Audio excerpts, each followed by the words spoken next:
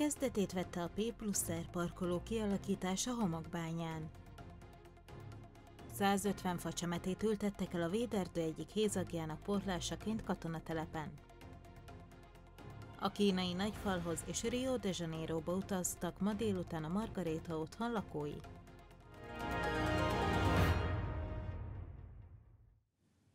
Jó estét kívánok! Önök a hírórában a híres híreket látják 19 órakor. Kezdetét vette a P plusz R parkoló kialakítása homokbányán. A munkálatok április végére befejeződhetnek, és május elején már használható lesz a parkoló, amit nem csupán ingyenesen lehet majd használni, hanem az ott kikért jeggyel egy fő ingyen utazhat aznap Kecskemét helyi járatain. Munkagép érkezett ma reggel homokbányára a busz megálló melletti területre. A Rimai útépítő Kft. szakemberei elkezdték kialakítani a 100-120 férőhelyes P plusz R parkolót. Aki ezt igénybe veszi az autója rendszámának begépelését követően ingyen kap egy napi jegyet az automatából, melyel egy fő ingyen tud utazni azon a napon az összes helyi járatú buszon.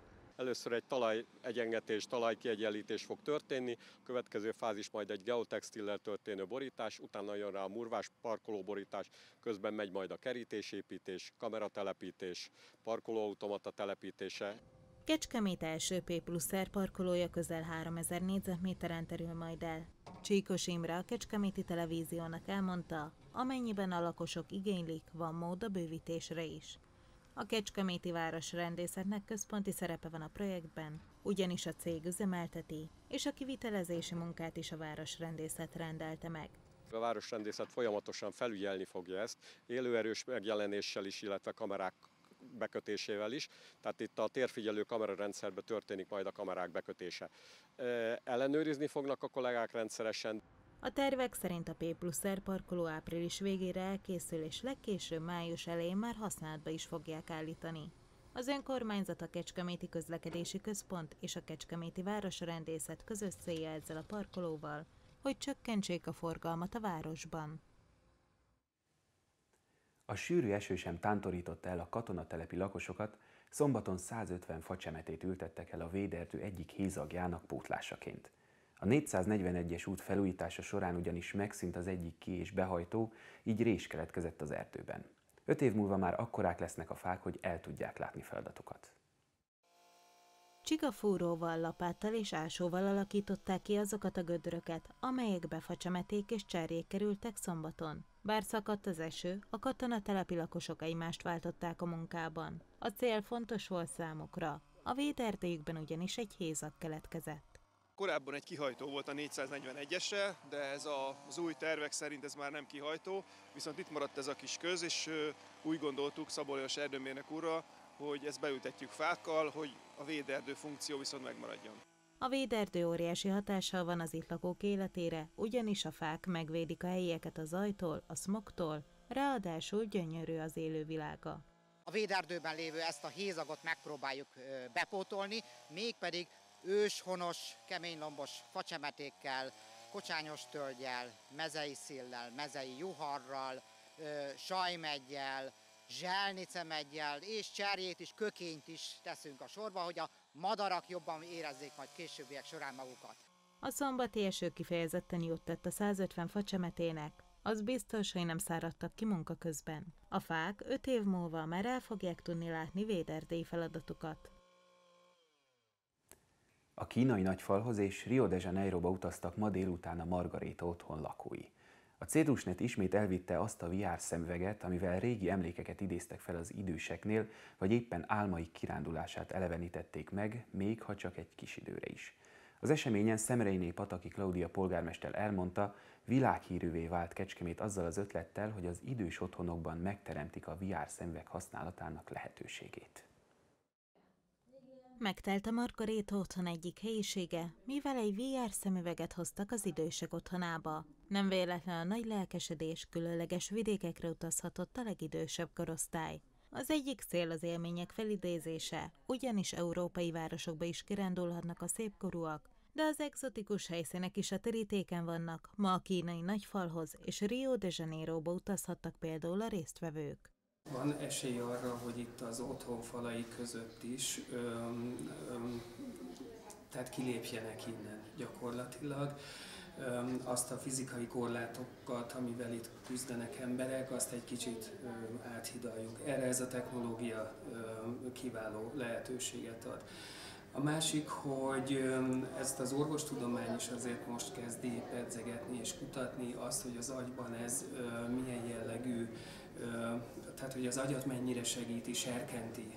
Közel egy éve havonta érkezik az eszköz a Margaréta otthonba, ahol kényelmesen ülve merülhetnek el az élményben az idősek. Szemerény Pataki Klaudia polgármester arról számolt be, hogy ez a kezdeményezés világhírűvé vált, Például a Reuters londoni székhelyi világhírű ügynökség is cikkezett a Kecskeméti projektről ilyen kezdeményezéssel nem találkoztak még, és az, hogy ennyire nyitottak rá, ez, ezzel meg kevesen számolnak, vagy kevesen gondolják azt, hogy, hogy a mi időseink az bizony és bizonyosan még mindig nyitottak a világra, és szeretnek kíváncsiskodni, és szeretik az új technológiákat kipróbálni.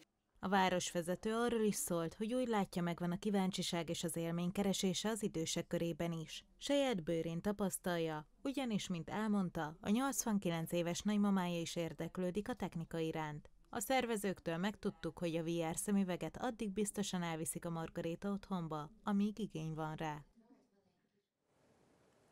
Március 18-án a Hírös Agóra Színház termében megtartották az idei tavaszi fesztivál nyitóhangversenyét.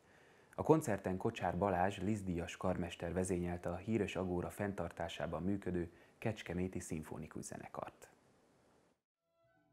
A nyitó hangverseny műsora Edward Grieg Henrik Ibsen Pergün című drámájához írott kísérő zenéje volt. Az 1876-ban bemutatott kísérőzene nem bizonyult sikeresnek, ezért a szerző a mű egyes részleteit önálló zeneműként is megjelentette. Két egyenként négy tételes suite született a Pergünt kísérő zenéjéből, ám a kísérőzene többi része sajnálatos módon feledésbe merült. Pedig igazi gyöngyszemek is vannak a ritkán játszott tételek között. Az előadásban a dráma keresztmetszetét Kovács J. István színművész szólaltatta meg, Szolveig, a női főszereplő megformálója, Krista Kinga énekművész volt. Kocsár Balázs karrierje során jó néhány hírneves, professzionális zenekar dirigált. A karmester nagyon élvezte a munkát a Kecskeméti zenekarral, sokra értékelte a lelkesedést és az örömet, amit a próbák során tapasztalt. Kocsár Balázs mellett a próbaidőszakban nem dolgozott betanító karmester, a próbák kezdetétől a bemutatóig maga állt a zenekar élén szoros egyeztetés volt, hogy mikor tudok jönni. Jöttem, és úgy ítéltük meg, és most itt a főpróba és koncert között azt gondolom, hogy jól döntöttünk, amikor azt mondom, hogy az a próbamennyiség elegendő volt ahhoz, hogy egy színvonalas közönség és az előadók számára élvezhető estét adhassunk. Kocsár Balázs nem tévedett. A Pergünt kísérő zenéje osztatlan sikert aratott, a zenekar pontos volt, ihletett és nagyon koncentrált, a közönség pedig hosszasan ünnepelte a koncert végén a közreműködőket, a zenészeket és karmesterüket. Miért éppen Kanada? Kanadai Magyar Üzleti Fórum címmel szervezett üzleti találkozót és konzultációt a Bács-Kiskun vármegyei kereskedelmi és iparkamara Kanada nagykövetségével a kanadai piac iránt érdeklődő vagy a már ott jelenlévő, de üzleti kapcsolatait bővíteni kívánó vállalkozásoknak. 27 vármegyei vállalkozás képviselője vett részt ma délután a Miért éppen Kanada című kanadai magyar üzleti fórumon. Az üzleti találkozó célja, hogy segítse a magyar, ezen belül a vármegyei vállalkozásokat. Gály József a Bács-Kiskon vármegyei kereskedelmi és iparkamara elnöke köszöntötte a résztvevő vállalkozások képviselőit és a szakmai előadókat. Az elnök ismertette, nagyon fontos a különböző országokkal való kapcsolatok kialakítása és erősítése. Az a, a küldetése a kamarának, hogy a üzletet fejlesz a vállalkozások, a gazdaság üzleti kapcsolatait fejlesz és ennek egy nagyon fontos része a, a külországokkal való kapcsolatok, export, import, képviselet, befektetések, és az itt lévő kollégák, a kanadai nagykövetség gazdasági szakemberei pont ezt a célt határozták meg, vagy célozták meg a maguk részéről is. Kanada nagykövetségének ideiglenes ügyvívője tartott elsőként előadást, melyből többek között kiderült az is, hogy Kanada a 15. legnagyobb befektető Magyarországon, és az is, hogy a kereskedelmi kapcsolat virágzik Magyarország és Kanada között. I have been in Hungary for three years.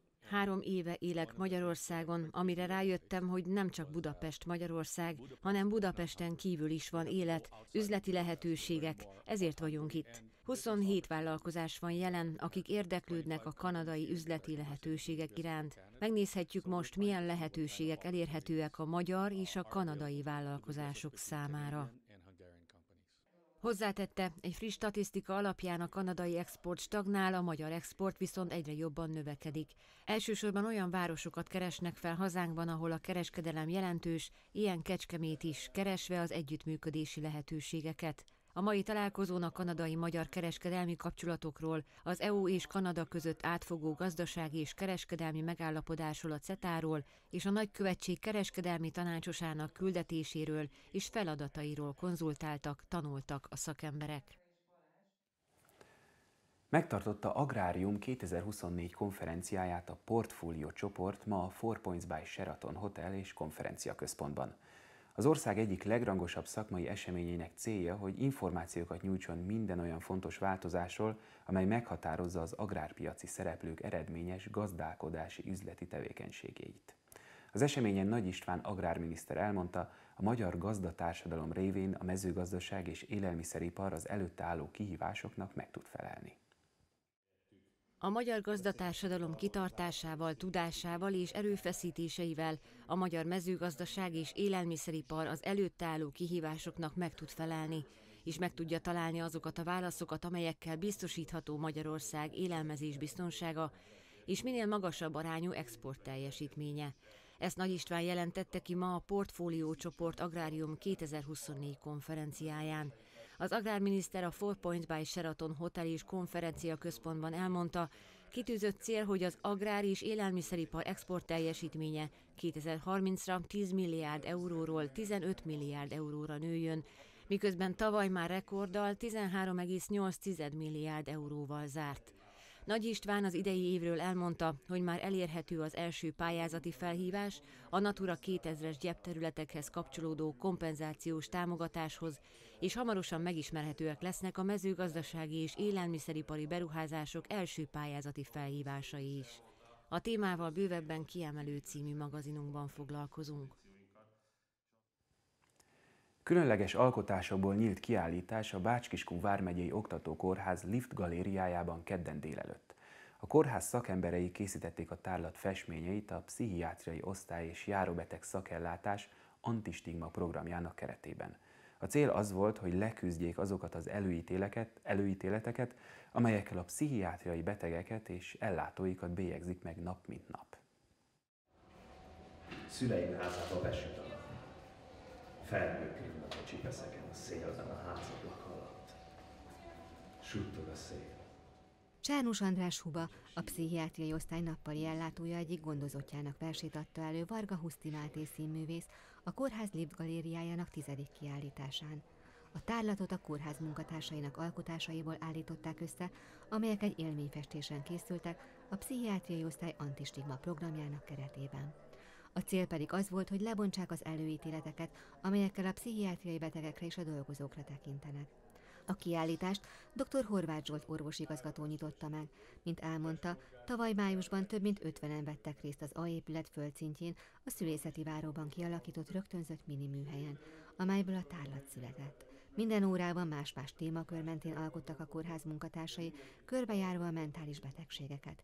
Így a bemutatott festményeken tetten érhetőek az orvosok, ápolók érzései, gondolatvilága és látásmódja, de érzékelhető az is, milyen jól érezték magukat a közös élményfestésen.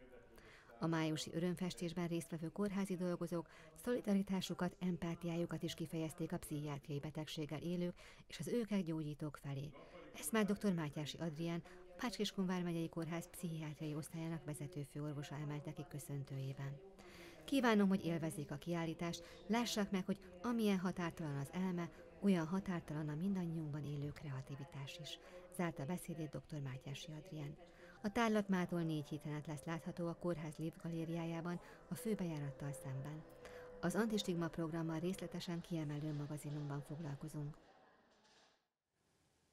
Egy 26 éves férfi életét vesztette, amikor autójával melléképületnek csapódott kerekegyháza mellett már a virradó éjjel. Információink szerint a balószögi férfi túllépette a megengedett sebességet. Melléképületbe csapódott, és a helyszínen szörnyet halt egy 26 éves ballószögi férfi kedre virradó éjjel kerekegyháza közelében.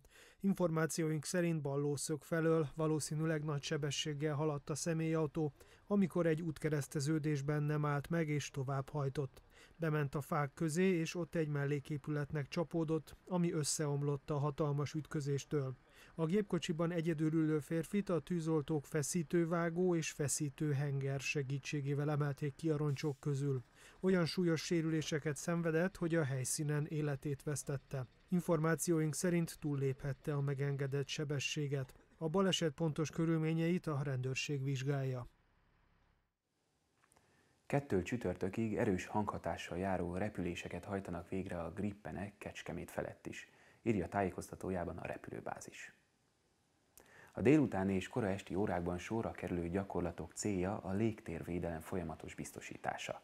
A repülések az éves kiképzési repülések részeként zajlanak, jellemzően 12 óra 30 és 20 óra 30 perc között kerülnek sorra, és Kecskemét mellett további 10 települést érintenek. Az MH Vitéz Szentgyörgyi Dezső 101. repülődandár a következő három napban az érintett lakosság türelmét és megértését kéri. Tavaly előtthöz képest 2023-ban nőtt Vármegyénkben a kereskedelmi szálláshelyeken töltött vendégészakák száma, derül ki a Központi Statisztikai Hivatal adataiból. A KSH összesítés alapján Kecskeméten regisztrálták a legnagyobb növekedést. A megyeszékhelyen 207 ezer vendégészakát töltöttek tavaly, ez a Vármegyében töltött vendégészakák több mint egyharmada. Vármegye székhely után Kiskunmalsa volt a legvonzóbb város 71.821 vendégészakájával. A statisztikai adatokból kiderül az is, hogy a hazai vendégek tavaly 3,9%-kal több éjszakát töltöttek Bácsiskunban, mint tavaly előtt. A külföldiek esetében pedig ez a növekedés 6%-os volt.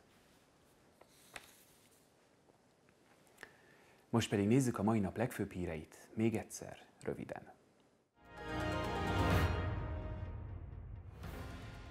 Kezdetét vette a P plusz R parkoló kialakítása Homokbányán. A munkálatok április végére befejeződhetnek, és május elején már használható lesz a parkoló, amit nem csupán ingyenesen lehet majd használni, hanem az ott kikért jeggyel egy fő ingyen utazhat aznap Kecskemét helyi járatain. 150 facsemetét ültettek el a véderdő egyik hézagjának porlásaként a katonatelepi lakosok. A 441-es út felújítása során ugyanis megszűnt az egyik ki- és behajtó, írés keletkezett az erdőben. A kínai nagyfalhoz és Rio de Janeiroba utaztak ma délután a Margarita otthon lakói. A Cédorusnet ismét elvitte azt a VR szemüveget, amivel régi emlékeket idéztek fel az időseknél, vagy éppen álmaik kirándulását elevenítették meg, még ha csak egy kis időre is. A híres Agóra Színház termében megtartották az idei tavaszi fesztiválnyitó hangversenyét. A koncerten Kocsár Balázs, Liz Díjas karmester vezényelte a Kecskeméti Szimfonikus Zenekart. Önök a híres híreket, a Kecskeméti Televízió híradóját látták. Hamarosan folytatjuk a kiemelővel. Mai magazinunkban vendégünk lesz Fáriné Boros Erika, a Kecskeméti második Rákóczi Ferenc általános iskola igazgatója, akivel a tegnap elindult Rákóczi hétről beszélgetünk. Ezt követően betekintést nyerhetnek, mi a kitűzött cél az agrár és élelmiszeripar export teljesítményére. Végezetül pedig megmutatjuk, milyen kiállítás nyílt a Bácskiskun vármegyei oktatókórházban. Olvassák és nézzék hírportálunkat, a cím híres.hu.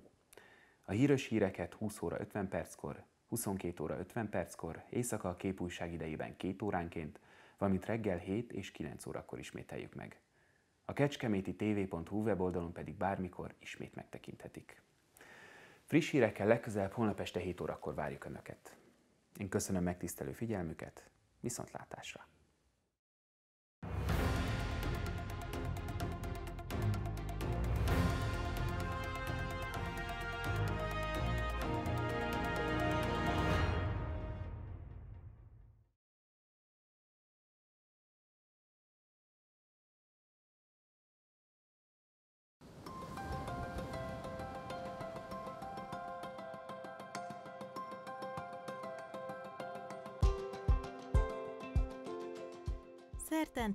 Túlnyomóan derült napos idő várható kevés felhő mellett csapadék nem lesz. Gyenge vagy mérsékelt marad a légmozgás. Hajnalban mínusz 4 fokot, napközben plusz 14 fokot mérhetünk.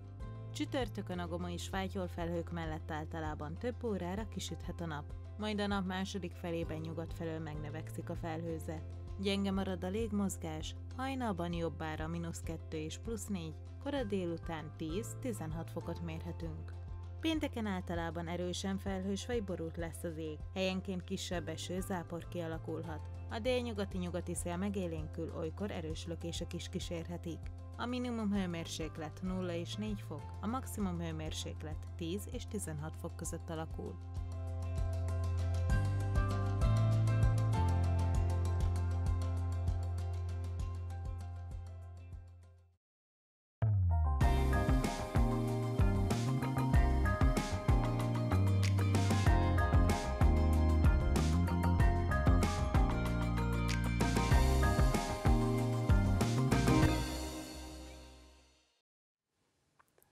Estét kívánok! Ez itt már a kiemelő. A tegnapi napon vette kezdetét a hagyományos Rákóczi hét. Ezzel kapcsolatban lesz vendégünk Fáriné Boros Erika, a Kecskeméti második Rákóczi Ferenc általános iskola igazgatója.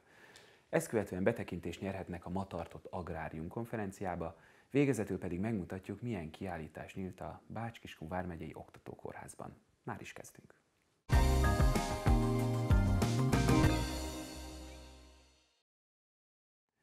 Elkezdődött a Rákóczis hét a Kecskeméti második Rákóczi Ferenc általános iskolában. A héten több program is várja a fiatalokat, mint fejedelmi nap, kampány és természetesen megemlékezés is. Ezzel kapcsolatban beszélgetünk most Fáriné Boros Erikával, a második Rákóczi Ferenc általános iskola igazgatójával. Szép estét kívánok! Jó estét kívánok! Talán kezdjük az elején, hogy mióta van Rákóczi hét az iskolában? Hét évvel ezelőtt találtuk ki, hogy kicsit másképp szeretnénk Rákóczi születésnapját ünnepelni. Ugye március 27-e körül mindig volt ünnepség az iskolában, de azt gondoltuk, hogy egy kicsit közelebb szeretnénk vinni a történelmet a gyerekekhez, ezt a korszakot egy kicsit játékosabban végig vezetni, és ezért találtuk ki ezt a Rákóczi projektet. Ez egy egyhetes komoly program. Mennyit változott az évek során? Finomítottunk rajta. Az első években ö, nagyon nagyszabású volt a projektzárás.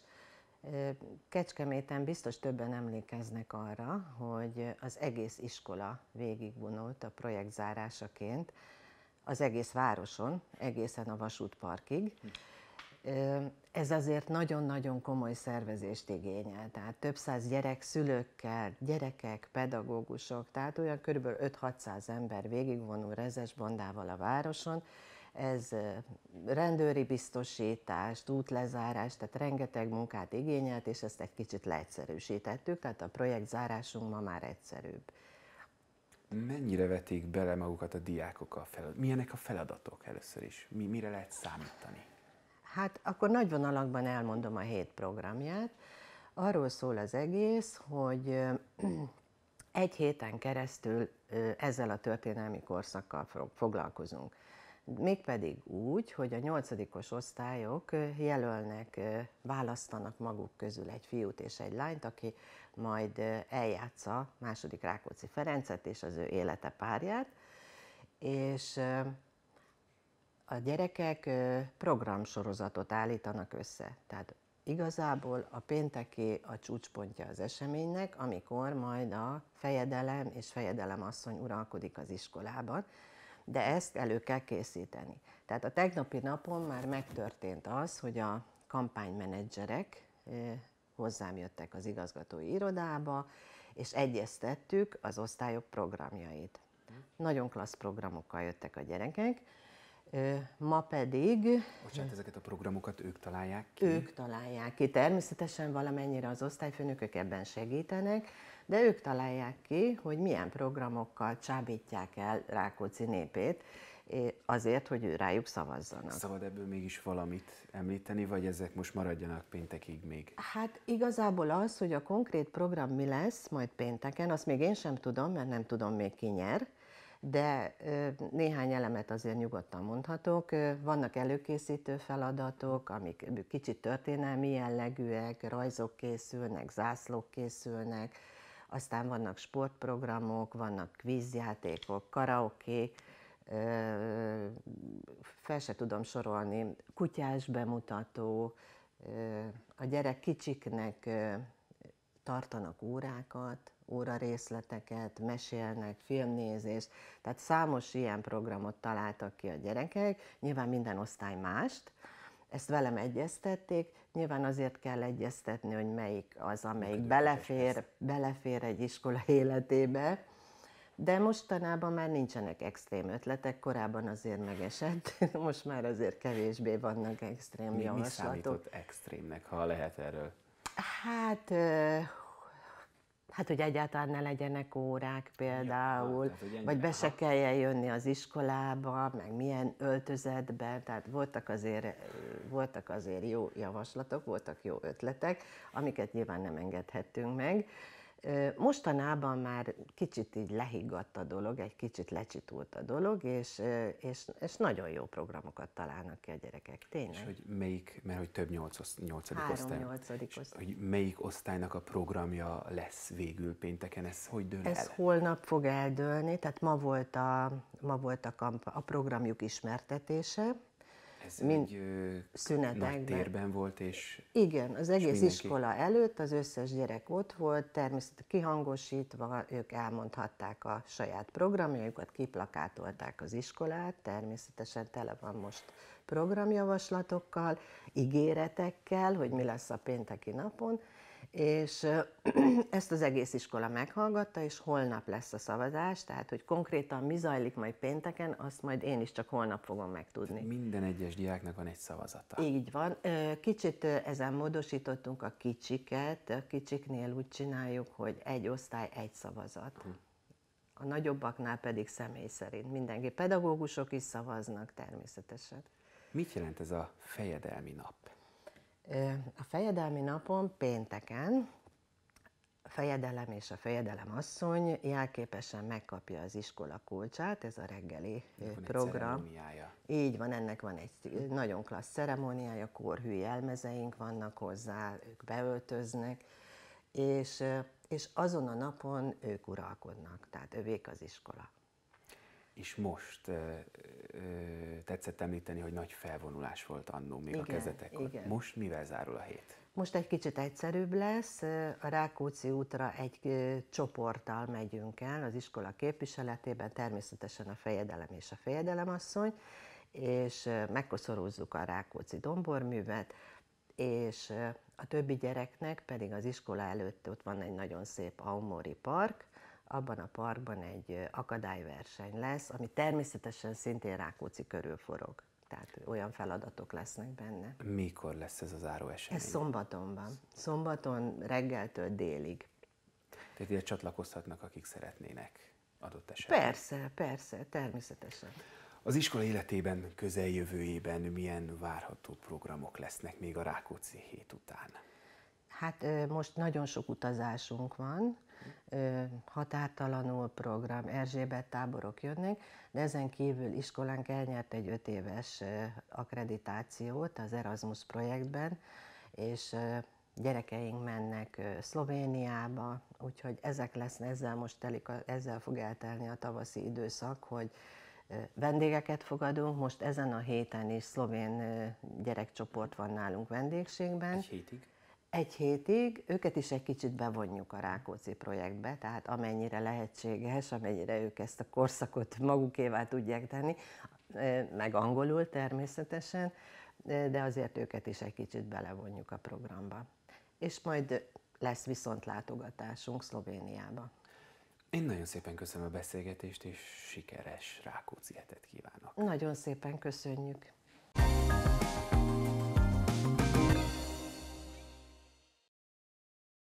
Megtartotta Agrárium 2024 konferenciáját a Portfolio csoport ma a Four Points by Sheraton Hotel és konferencia központban. Az ország egyik legrangosabb szakmai eseményének célja, hogy információkat nyújtson minden olyan fontos változásról, amely meghatározza az agrárpiaci szereplők eredményes gazdálkodási üzleti üzleti tevékenységeit. Az eseményen Nagy István agrárminiszter elmondta, a magyar gazdatársadalom révén a mezőgazdaság és élelmiszeripar az előtt álló kihívásoknak meg tud felelni. A magyar gazdatársadalom kitartásával, tudásával és erőfeszítéseivel a magyar mezőgazdaság és élelmiszeripar az előtt álló kihívásoknak meg tud felelni, és meg tudja találni azokat a válaszokat, amelyekkel biztosítható Magyarország élelmezés biztonsága és minél magasabb arányú export teljesítménye. Ezt Nagy István jelentette ki ma a Portfólió csoport Agrárium 2024 konferenciáján. Az agrárminiszter a Foy Point Sheraton Hotel és Konferencia Központban elmondta, az agrárgazdaság teljesítményének volt köszönhető, hogy a tavalyi esztendőben a magyar gazdaság nem csúszott recesszióba, tehát méltán lehet büszke a magyar gazdatársadalom. Hangsúlyozta, a kitűzött cél, hogy az agrár és élelmiszeripar export teljesítménye 2030-ra 10 milliárd euróról 15 milliárd euróra nőjön, miközben tavaly már rekorddal 13,8 milliárd euróval zárt. 2023-ban új rekordot könyvehettünk el, ami a gazdálkodók számára gyakran a talponmaradást jelentő kifizetett agrártámogatásokat illeti.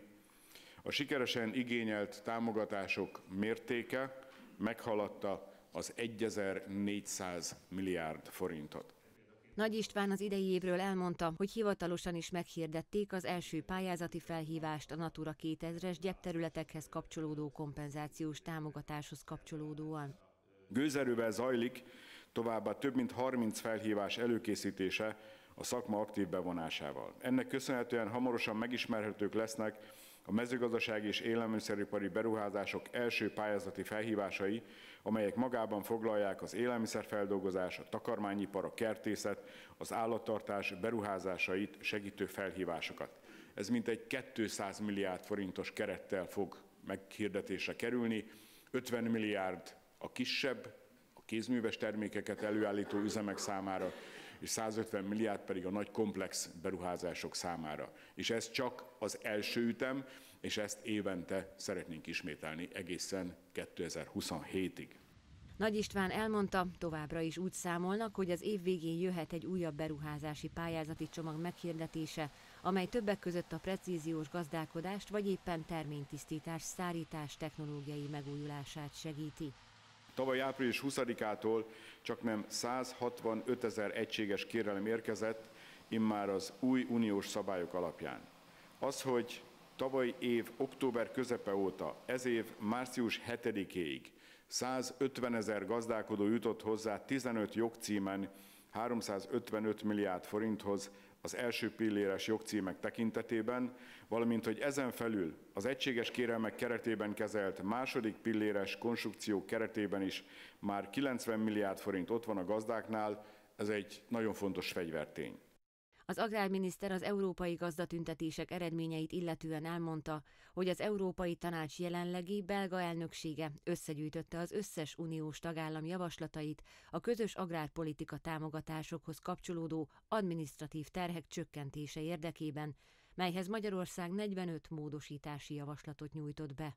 Az Európai Bizottság március 15-én nyilvánosságra hozta hivatalos javaslatcsomagját a közös agrárpolitika uniós szabályainak megváltoztatására. A javaslatok legnagyobb része, ahogyan az várható volt, a feltételesség szabályainak könnyítését célozza.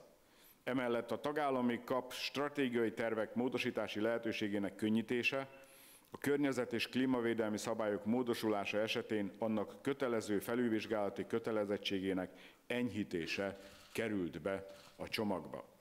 A miniszter fontos eredménynek nevezte, hogy a javaslatcsomagban foglalt elemek több fontos magyar részről is megfogalmazott kérést is teljesítenek. Nagy István kitért arra is, hogy szükséges az élelmiszerpazarlás elleni fellépés erősítése is, valamint hangsúlyt kívánnak fektetni az alkalmazkodáshoz nélkülözhetetlen agrár- és élelmiszeripari kutatások ösztönzésére is.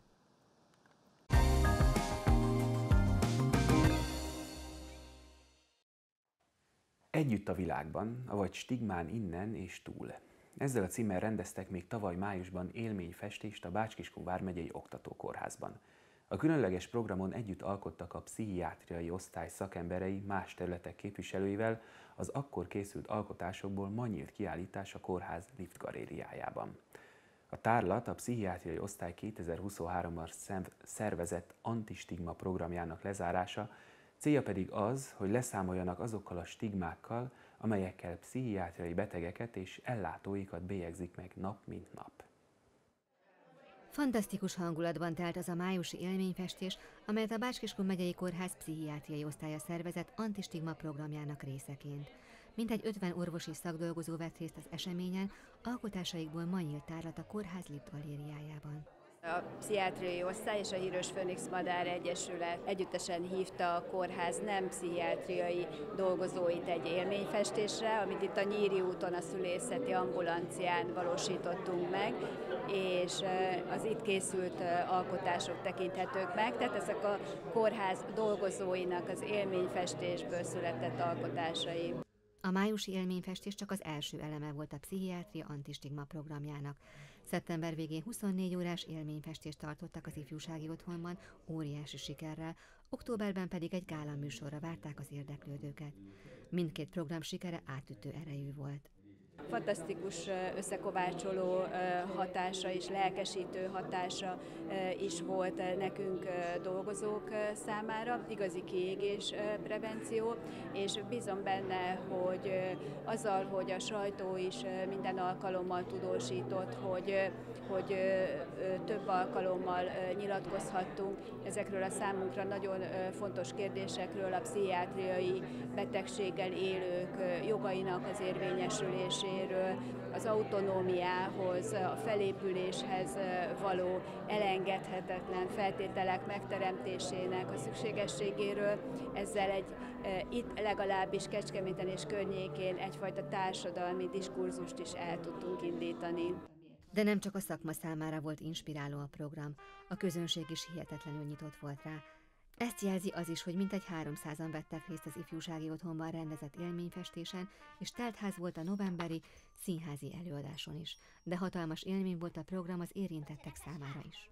Kíváncsian érkeztem, és egyben örömmel is. Öröm volt felfedezni az ismerős arcokat, és látni ismeretleneket, és nem csak a saját alkotásban volt meg az élmény, hanem abban is, ahogy figyeltem azt, hogy mások mit alkotnak. Ez számomra mindig egy kicsit izgalmas, mert kíváncsi természet vagyok alapvetően, és a saját alkotás öröme is megvolt. Még engem is meglepett a végeredmény. Egy kicsit szégyelős vagyok.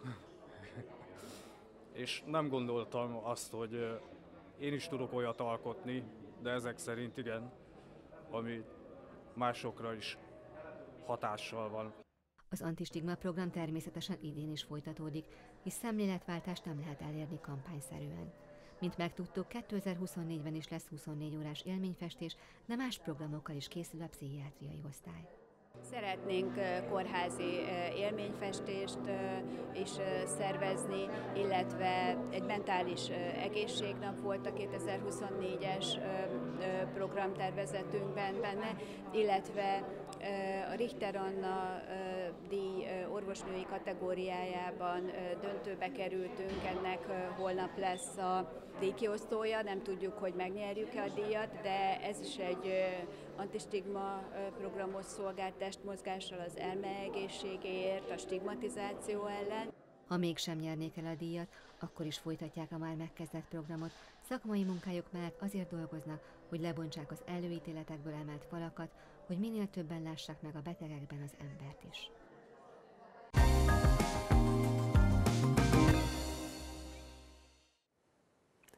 A híróra végén a nap legfontosabb híreit láthatják egy percben.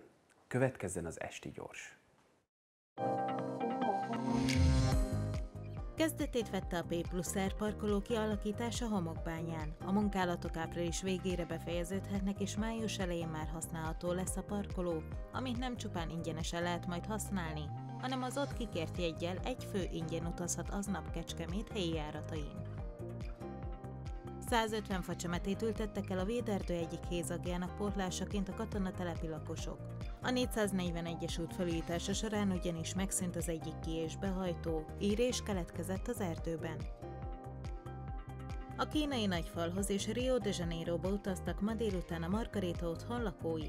A Cédrusnet ismét elvitte azt a VR szemüveget, amivel régi emlékeket idéztek fel az időseknél, vagy éppen álmaik kirándulását elevenítették meg, még ha csak egy kis időre is. A híres Agóra Színház termében megtartották az idei tavaszi fesztiválnyitó hangversenyét. A koncerten Kocsár Balázs, Liz Díjas karmester vezényelte a Kecskeméti Szimfonikus Zenekart. Miért éppen Kanada, Kanadai Magyar Üzleti Fórum címmel szervezett üzleti találkozót és konzultációt a Bács-Kiskunvár megyei kereskedelmi és iparkamara Kanada nagykövetségével.